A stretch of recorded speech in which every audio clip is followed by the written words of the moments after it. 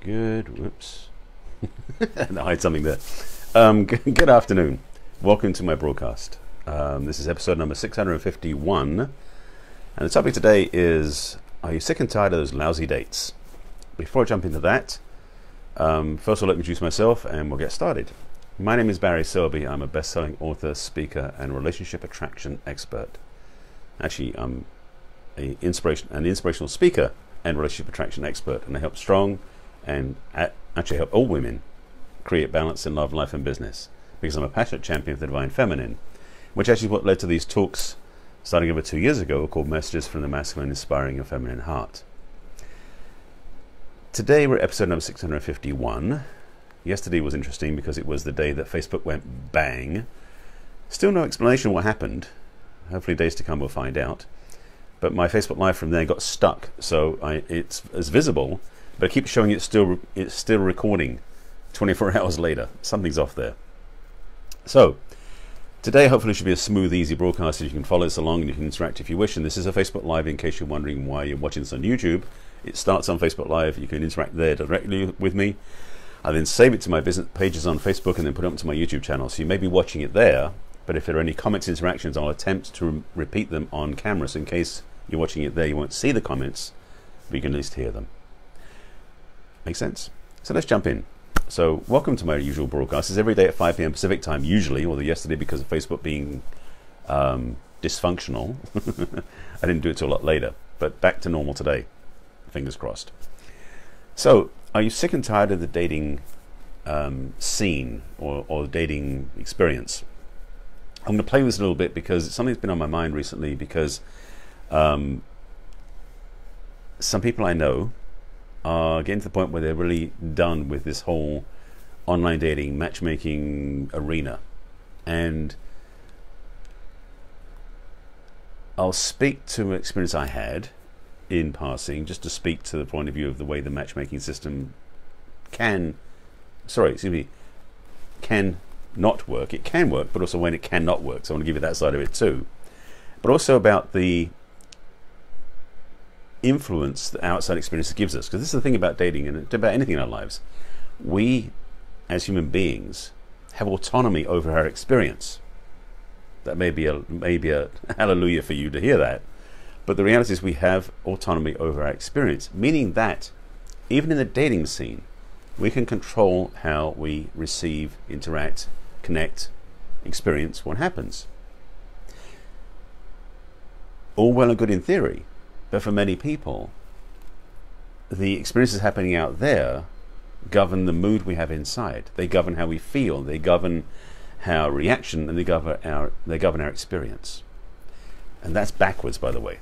So I'm going to give you some insights into that one level, and hopefully give you some skills on the other side. First of all, the way the world is set up, we are viscerally in, immersed in it, like human as human beings, believing that the world happens to us which is actually not true. I know it's going to sound weird, but it's not true. Frankly, our journey through this life is totally governed by what's inside. Hang on. Excuse me, I had to do that. Still persisting day after day, but it's going away soon. It's really a matter of how we choose to respond to what happens out there that governs everything. So me, sorry, I'm jumping ahead. Let me back up a second slightly.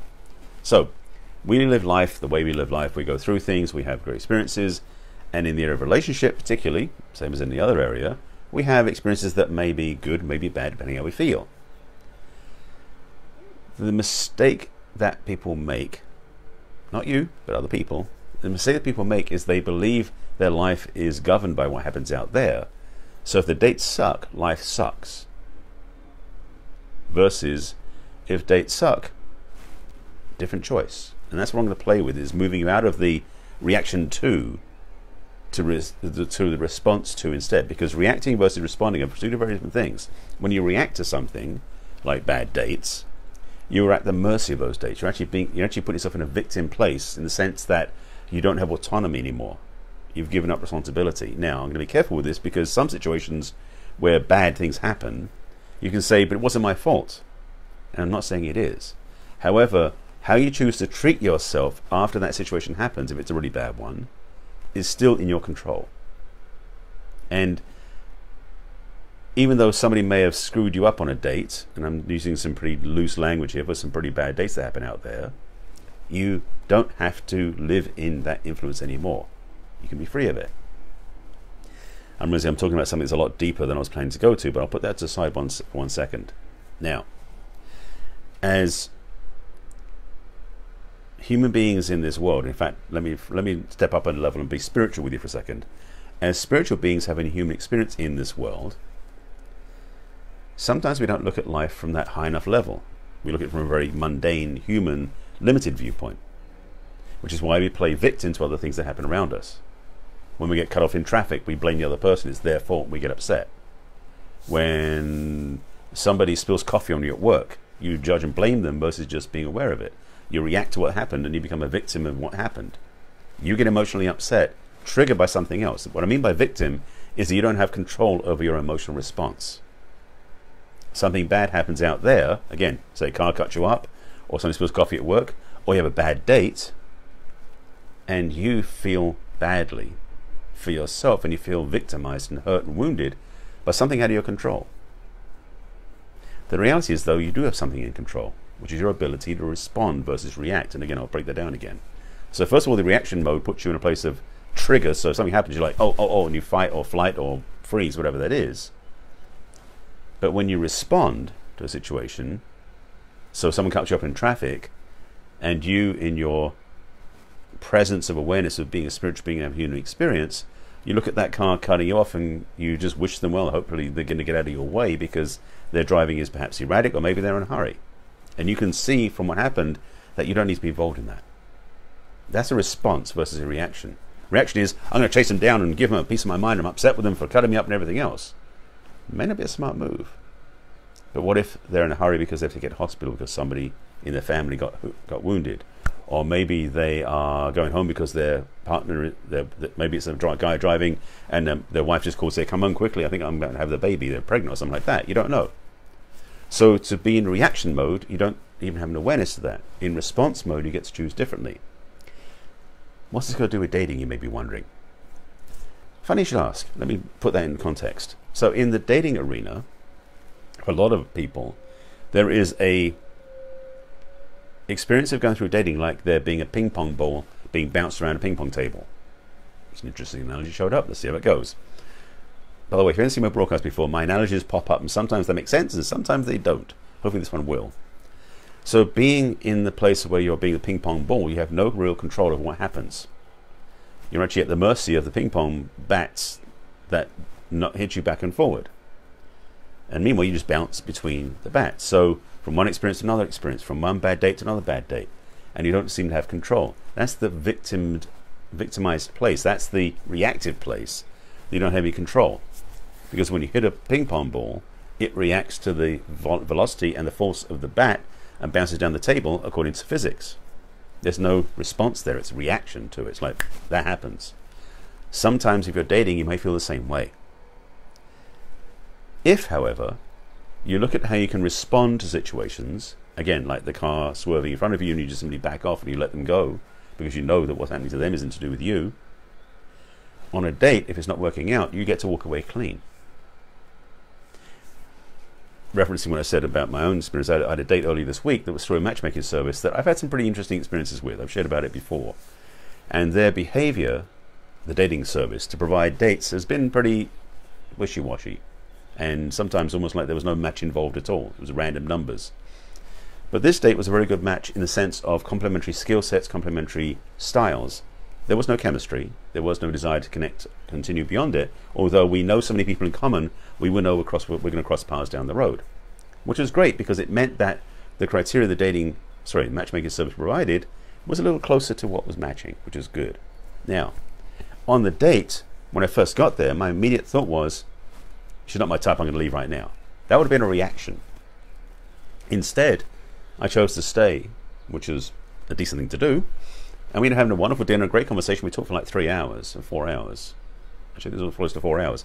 And a great time. Again, no chemistry, but great conversation. And I know we both benefited from the conversation because we responded to what happened. We both knew, my guess is she had the same thought I did, that we weren't going to have any, any chemistry or romantic connection, but we were going to have a great conversation, which we did, and, and enjoyed sharing some ideas and thoughts about business and other things too. That was because we responded. Now, not all the dates have been been like that, just to be clear and transparent.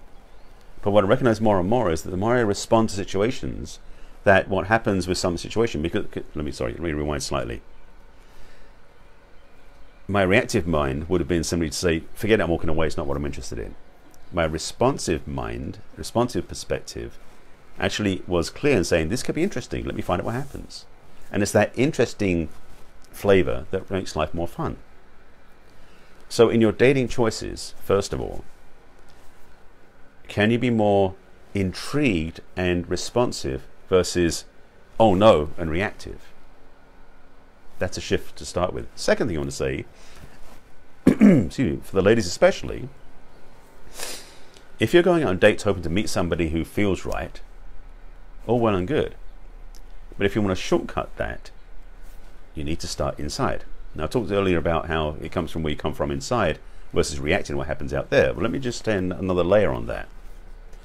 As a powerful creative being that you are, ladies especially, your gift and your talent is the ability to attract things into your life. Now, maybe you haven't been attracting what you want. That's a whole other conversation we can have about what you've got wired inside because you attract regardless of what's running and regardless of what you're choosing. If you're getting bad choices, that's actually a clue that maybe your radar, your magnetic systems are misaligned. I'm being a bit complicated and technical, but I hope this makes sense. So the power you have is to realign your targeting system, for want of a better word. Sorry, I was watching when watching The Expanse on on uh, Prime, which I love, is a great show, and a lot of that languaging is in my head right now, so I guess it's coming out that way. Let me try another way if you're getting dates that suck, then maybe you can realign your viewpoint to actually create and attract dates that don't suck. Is that simple enough? So shifting the energetic from what doesn't work to what does work starts with you having a clear and honest communication with yourself. To ask yourself, what am I really looking for? Because maybe you don't even know. Maybe you're actually out there dating randomly, hoping you're going to meet someone that fits what you don't even know is the criteria a suggestion is you start by getting clear inside. What do you really want in partnership? What do you really want to attract? Again, ladies, your skill, your power, magnificence is the ability to attract what you want. If you don't know what you want, you can attract a whole bunch of stuff. Hang on, I'm going to cough again. Excuse me. So, if you are not attracting what you want, it's time to adjust your sights to realign to focus differently. And by so doing, you'll change the paradigm which you play in, and you actually can focus more um, intentionally where you want to go, and that's powerful. Now, I do have a couple of things up my sleeve, sort of up my sleeve. I actually have um, a couple of ideas for you. I'll put in links, a couple of links in the comments just to let you know that one, I have an online program called Attract the Man You Want, so that helps women get clear. if you're a woman, it's clear on your vision, your intention, your power That'll be in the comments. And also put a link in the comments for a discovery session with me because maybe you want to talk more about what's in the way and what you're not getting. Having a clear vision can be easier once you know what you're looking for, but the thing is, you have to know what you're looking for first. And also, if you're not getting a match to that, then what are you being pulled toward that's not lining up? As I mentioned earlier. So these two things, getting clear about where you want to go, but also watching what shows up as as feedback, is a key way of refining, honing, and adjusting your targeting to get what you really want. Dating is an exploration of possibility. What you really want, I trust, if you're doing that, is to find the one you want to be with. Not the perfect one, but the one you want to be with, which means it's good to know what you're looking for first. So you start there and build, and I can help you with that. So I hope this has made some sense to you, and there's some keys and some tips in here that will give you, some value. If you feel like this has been of value to you, you want to share it with your friends, please do so. Um, again, I'll put links in the comments for the two things I mentioned. This is something you can change. You have the power to change your choices, the power to shift your vibration, the power to choose and respond from a higher place than maybe you've done up to this point. The good thing is you can do this without my help. You can just explore and see what happens. So try it out and see.